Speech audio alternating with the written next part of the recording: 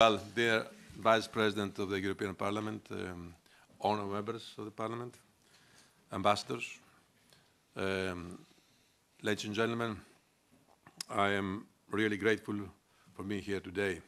I would like to congratulate from the depth of my heart Ms. Gabriel for having taken this initiative. She's been from the very beginning one of the main proponents of our policy, both in migration and security, and uh, I'm grateful uh, to her and to her contribution uh, that has already started giving uh, very concrete uh, results. Well, the focus uh, on our external borders could not be more topical, as you all know. Since this Commission took office two and a half years ago, we have had to deal uh, with two parallel crises, the migratory crisis and the security crisis. For both of these crises, our external borders have been the connecting thread, the flashpoint of um, extreme pressures, challenges, and fundamental questions about the way we move forward as a union. Whether we stick together as one indivisible union of values or whether we dissipate into separate, uncoordinated, fragmented, and probably failing parts.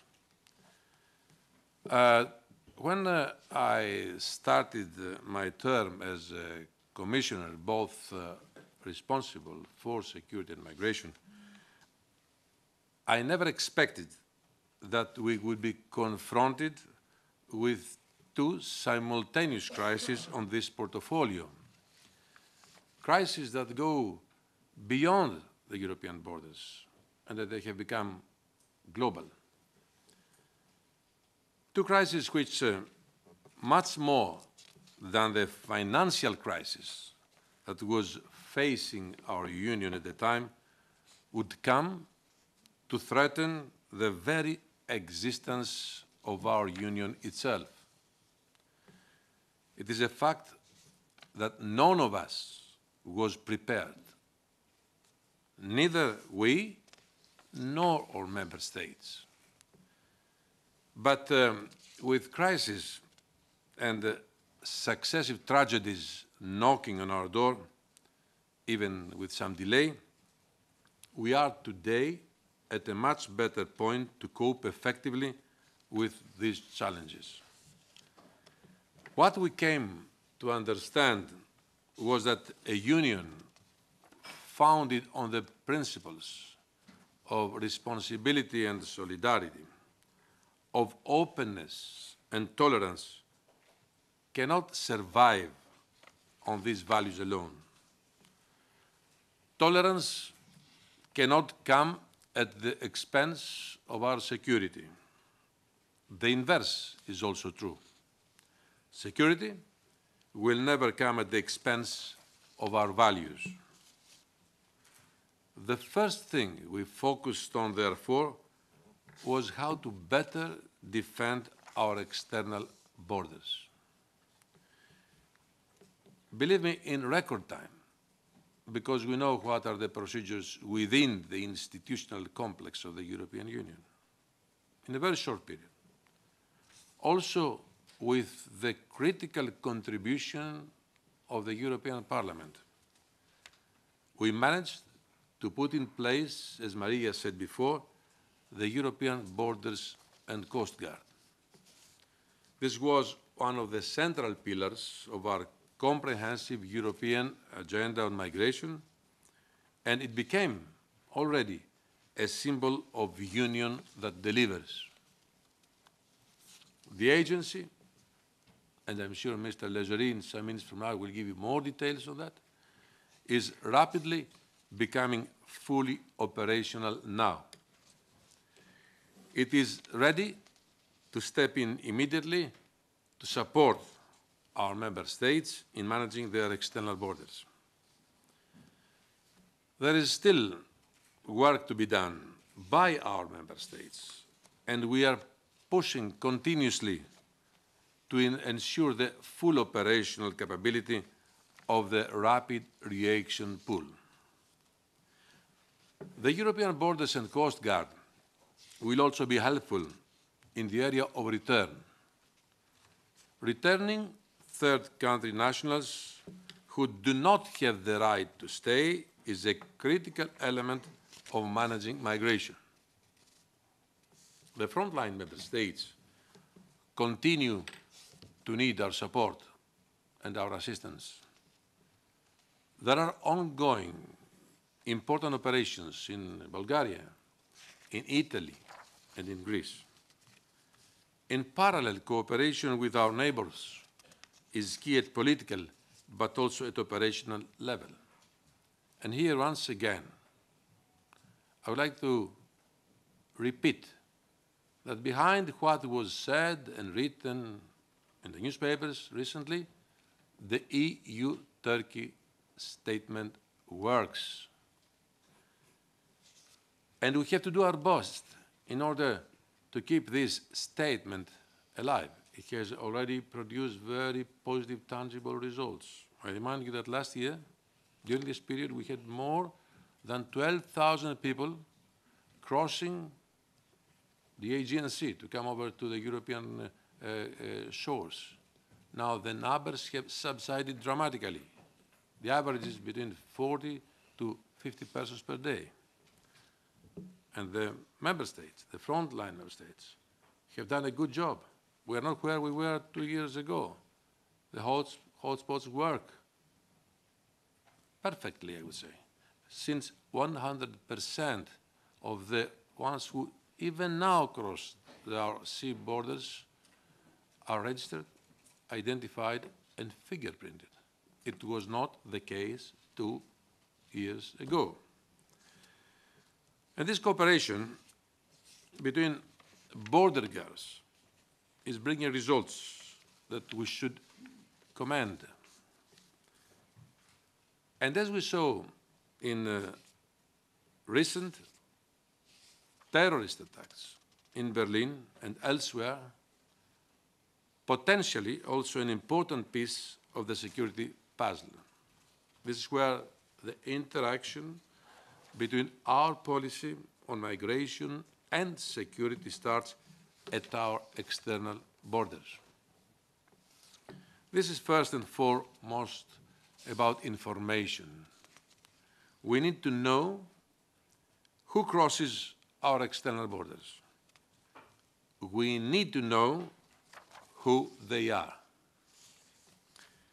And we need to check them against all our security databases to make sure law enforcement authorities can operationally follow up on suspects.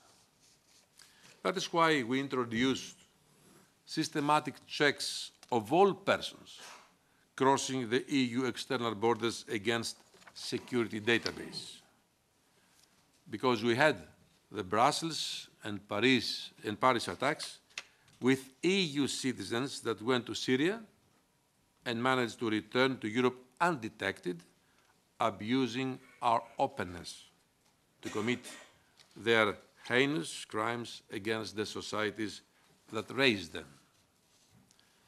Since last Friday, this crucial security layer is a reality at all our external border crossing points. You might know, or you read in the newspapers, that we experienced in the beginning of the implementation of this new measure some difficulties. But a meeting is being organized tomorrow here in Brussels with member states experts to help them implement the legislation and ensure regular traffic flow without compromising the level of security. The security of travel documents is also crucial here for establishing the identity of a person. In December 2016, we adopted an action plan on document security to make residence cards, identity documents, and emergency travel documents more secure.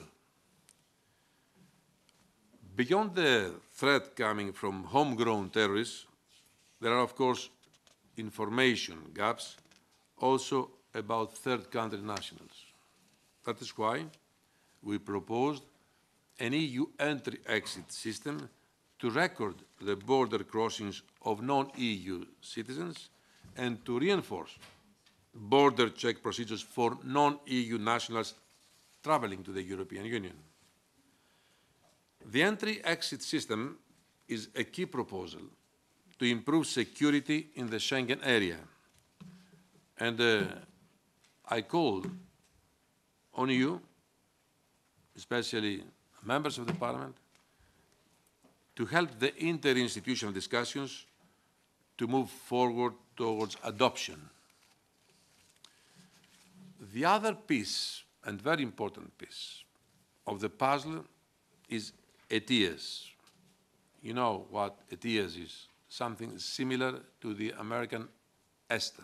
There are some differences, but uh, the European model, believe me, will be even more advanced and more progressive and more efficient. This is the system we propose to get uh, advance information related to security and migration risks on visa-free third nationals before they arrive at our external borders.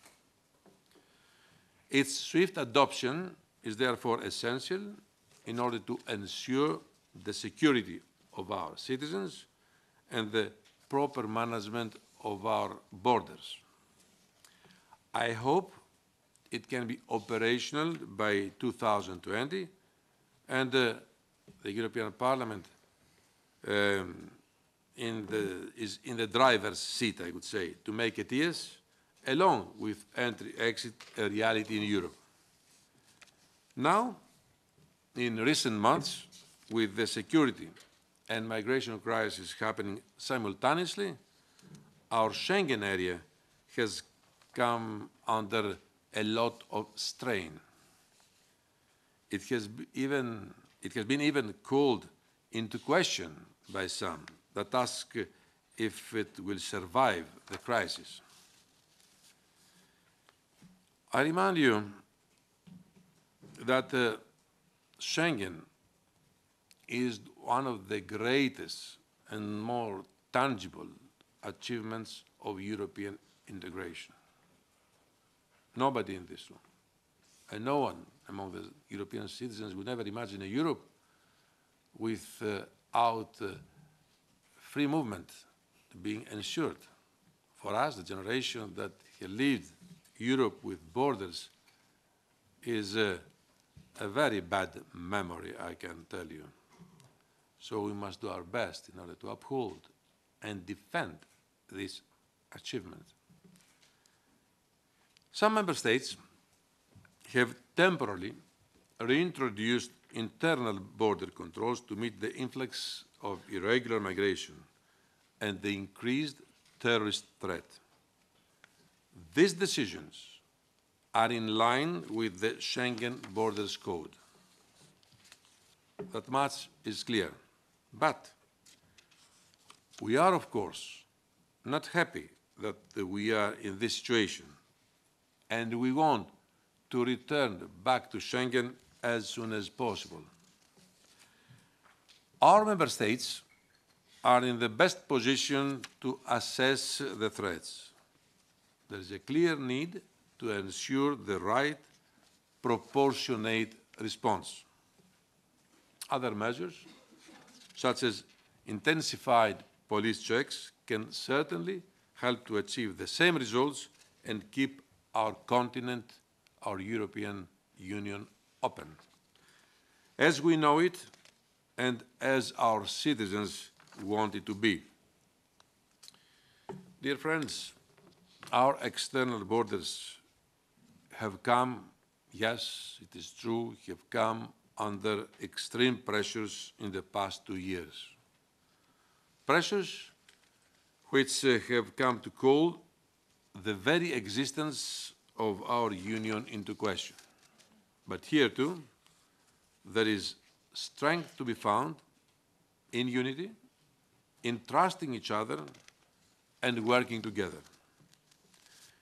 in remaining, remaining faithful to the values of the Union, while doing our best that our external border keeps Europe safe without making it a fortress.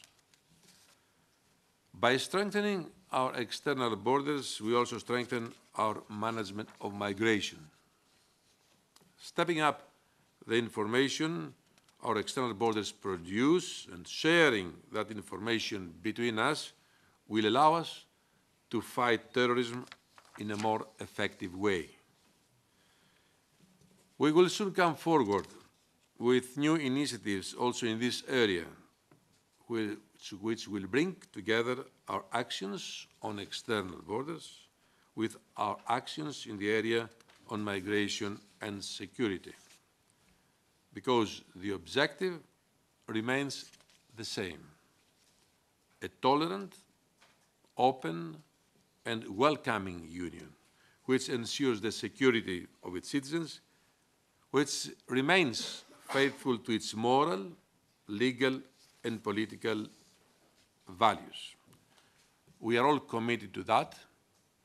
And once again, given this opportunity today, Maria, to express my gratitude for the support of uh, the European Parliament to our efforts. As I said in the beginning, we are not where we were two years ago. We have made progress on all these issues, but more has to be done in the future. And here, once again, I would like to make a strong call to all member states and to all governments to support and help us with that. But on the other hand, to fulfill their commitments and their pledges, because there are still some shortcomings there. Thank you very much for your attention, and I wish uh, to this conference a great success, and I look forward to reading the results of this excellent initiative you have taken. Thank you. Thank you very much.